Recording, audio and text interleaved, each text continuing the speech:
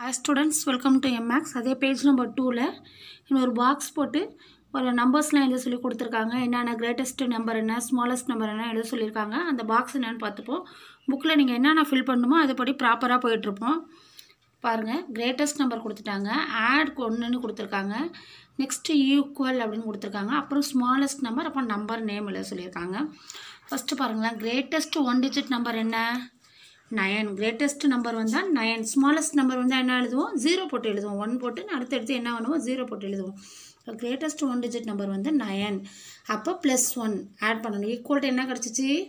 Smallest two digit number கிடச்சிருச்சு. One zero அப்போ இது வந்து நம்பர் ஆஃப் நேமில் எழுதுனோம்னா என்ன வரும்? டென் நெக்ஸ்ட் பாருங்கள் greatest two digit number greatest two digit number என்ன வரும்? டூ நைன் எழுதுவோம்.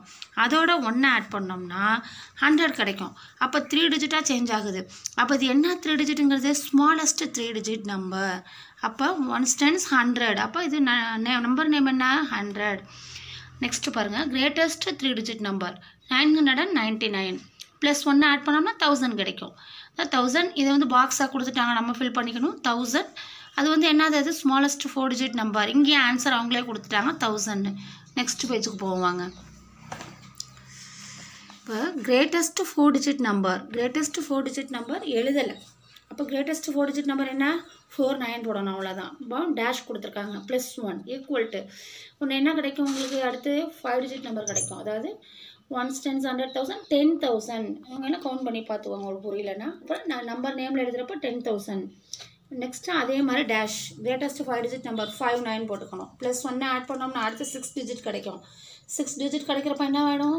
லேக்ஸ் அப்போ ஆன்சர் என்ன? லேக்ஸ் இப்போ கிரேட்டஸ்ட் சிக்ஸ் டிஜிட் நம்பர் கொடுத்துட்டாங்க. Plus one equal to seven டிஜிட்டாக change ஆகும். அப்போ டென் லேக்ஸ் கிடைக்கும்.